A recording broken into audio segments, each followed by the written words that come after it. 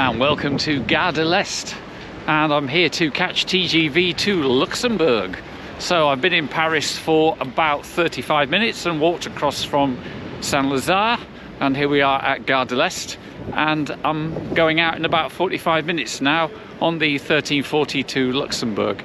Uh, Obviously, I've been on TGV before on this channel, but I think this one is a single-decker TGV, and I'm in first class with my Interrail ticket, and I'm very much looking forward to it. So uh, come along with me, and we'll see how it goes. Well, there's been a station here since it was opened in 1849 as the western terminus of the Paris-Strasbourg Railway although it's hard to tell what dates back to that time as the station was improved and extended in 1885, 1900 and in 1931 it doubled in size. And the hall, well, it's pretty impressive, although I think all the pop-up shops do detract from the space. Still, the arched windows at both ends are spectacular and adjacent to the platform barriers, the transverse glass roof provides plenty of space and light.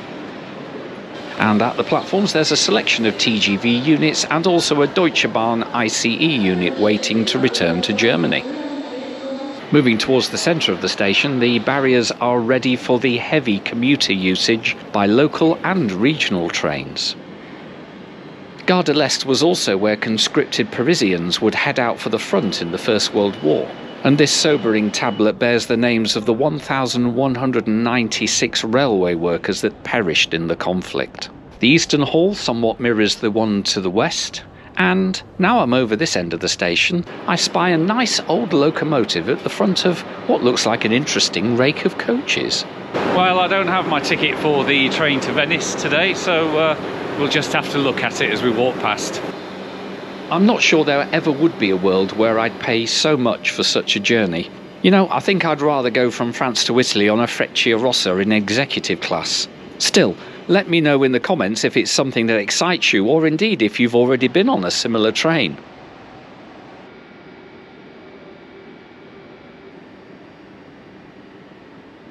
Must say, after the uh, hustle and bustle of the Paris streets and Gare de l'Est itself down there, the main concourse, standing up here on the platform is incredibly peaceful. Uh, all the uh, all the trains are sitting quietly, and uh, yeah, I'm just enjoying a quiet moment before I catch my TGV. Right at the centre of the station there is more shops, but my departure is now on the board and they put up the platform number, which is number 30, right at the western end of the station.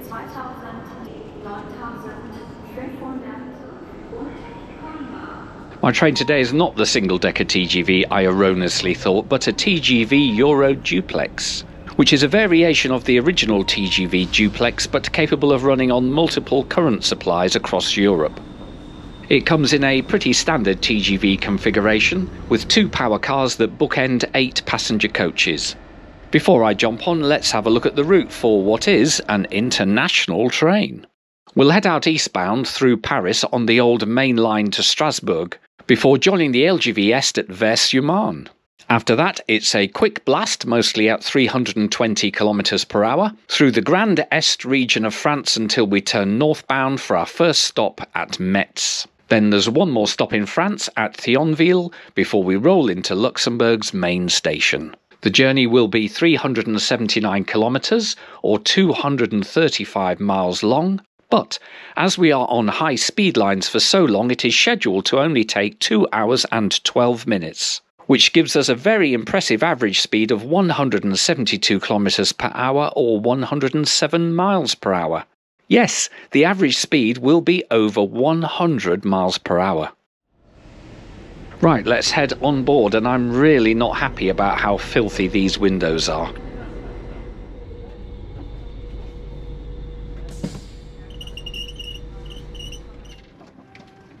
Well, this is going to be a gloomy ride behind all this grime, but I'll do my best to give you a flavour of the route and the train anyway.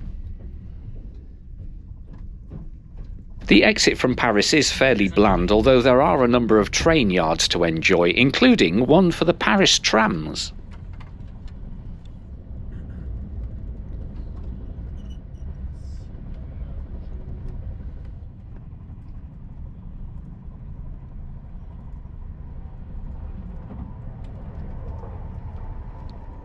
Things are speeding up now and we'll soon be on the LGV Est, so I think it's time to have a look at this first class seat.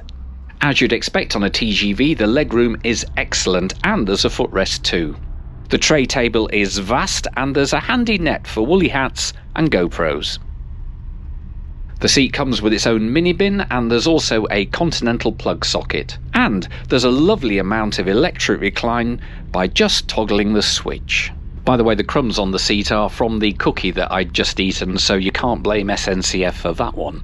And up above, my ski jacket is on the coat hook, and there's a blind we don't need, as, well, SNCF has inadvertently made another one out of train dirt. Oh, and don't forget the often provided and rarely used reading light. I think they're trying to have a laugh with the hashtag no filter sticker. Our coach is directly in front of the cafe car, so it's not far to walk for a coffee. I think the cafe bar is a great place to come on a TGV. The coffee is reasonably priced and it's a good place to spend time gazing out of the window or catching up with friends and colleagues. And of course, up here, the windows are a lot cleaner. Anyway, as the French countryside speeds by and I enjoy my coffee, it's worth talking about the cost of this journey. SNCF very much has a demand pricing structure, and therefore prices will vary. But as I record this voiceover, tickets on this very train booked one month in advance are being quoted at 57 euro first class and 45 euro in second, which I think is a pretty good deal. But just remember, if you book just one day in advance, you are more likely to pay over 100 euros in first or second. My first class 10 day senior Interrail ticket with a 25% Black Friday discount came in at just £312. The compulsory TGV seat reservation was just an extra 8 euros. And that's it, we're leaving the LGV Est to turn northward to Metz. With Metz been and gone, the train is now a lot quieter for this ride through the Moselle. Well, we were already about five minutes late, but this looks like there's going to now be more delays. Eventually, we are cleared to enter Thionville, although there's going to be a little bit more bad news when we stop there.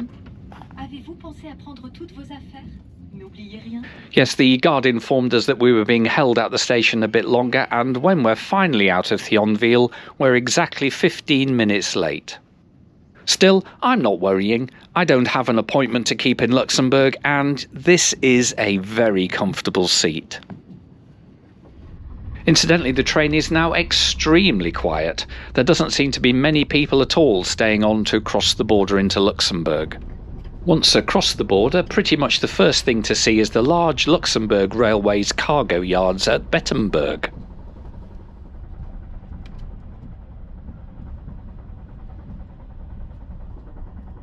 The satellite town of Howald has a lot of work going on at the station, and judging from the map, this is a major park and ride location for people driving up from France, and it's also a big development zone too. And with my first sight of Luxembourg's push pull double deck commuter trains, we are into the main station at Luxembourg, 17 minutes late. There's also a lot of people waiting at the platform as this train will immediately form the return working to Paris.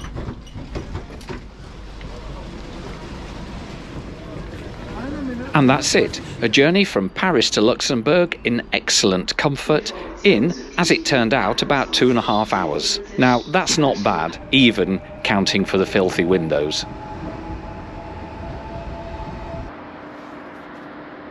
Well, there's a delayed TGV waiting to return to Paris. And yeah, that was a great run. Um, I mean, I think the thing about these TGV is that they're just a bit boring because they're just so good at getting you from A to B really fast. And here we are in Luxembourg, 15 minutes late, but it was great. Obviously, the downside for you and me making videos like this, dirty windows are no fun at all. But spent a bit of time up in the cafe and uh, managed to uh, sneak a few shots for you. So I hope that was a good uh, impression of the journey But yeah, TGV, lots of legroom, very comfortable. Oh, and the lights have changed. I think it's going to set off.